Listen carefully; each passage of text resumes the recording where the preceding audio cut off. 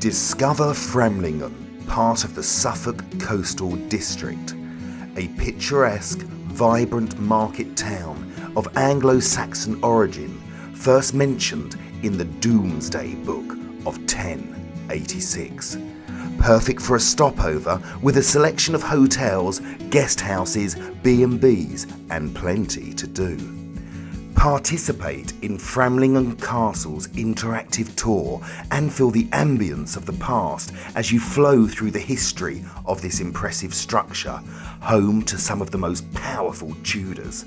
So, grab your camera and wallet and head for this charming Suffolk village. You won't be disappointed.